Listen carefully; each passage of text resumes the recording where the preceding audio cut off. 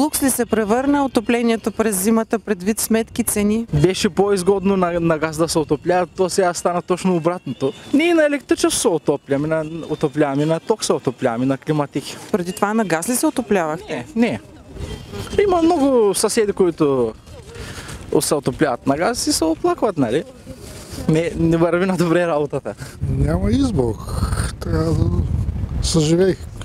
С високи сметки не е приятно. Отопляваме по-малко, по-ниска мощност. Имам приятели, които се смениха и начало на отопление Какво на какво? от газ на ток. Не че нещо, но все Вие с какво се отоплявате? на ток, климатици. И сме зависими на каквото е. Нищо не мога да направим. Ами, може да се каже вече да. Трудна работа. Хората се справят трудно. На какво се отоплявате всъщност? Ние сме на ток. А, за мен не е лукс. По главата даже си личи, че Нямам задължение към Йоана, но исках просто си аз се притеснявам, като слушам новините, и аз се притеснявам какво ще ми е, колко ще ми е сметката. Отоплявате се значи на ток. Да, изцяло на ток. Апартаментът е около 120 квадрата, само на ток се отопляваме. Изцяло климатици. А, Климатик, акумулираща печка и други допълнителни, защото сина ми е тук и работи дистанционно и трябва да се отоплява целият апартамент. Лукс и необходимост. На какво се отоплявате вие? Ток, За климатици ли говорим да. основно? климатици. Два климатика и конвектор. Ох, разбира се, че е лукс.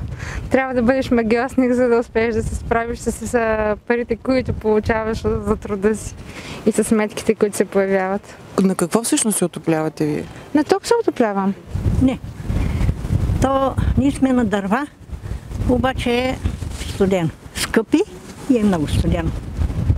Не успявате да отоплите или просто... Просто нямаме толкова средства, за да вземем дърва, за да можем да отоплим апартамент. Само една стая отопляваме. Вие очаквате ли изненади в сметките си за този месец? Разбира се, мисля, че даже всеки очаква. Предната ми сметка е 320 лева за миналия месец. Очаквам по-висока сметка. Ще има скок със сигурност. Ама за януари така или иначе, аз да не е тая зима, винаги съм подготвен. Два-три месеца цената да е двойна от лятото, например. Подготвени сме. Очакваме за съжаление. Ами, честно казано, очаквам неприятни изненади, тъй като слушам а, познати, чието сметки вече са излезли. Надявам се да се справя, но като цяло, да, не е приятно преживяването, което предстои. Как е начинът да реагира потребителя, за да... Ами, може би по някакъв начин трябва да се сезират всички заедно и да се направи нещо, защото наистина са високи цените. За сега, може би, голяма част не са получили още новите сметки и не реагират, но може би ще дойде съвсем скоро време това да стане. При вас специално каква разлика очаквате в сравнение с предния, с декември, пр- примерно?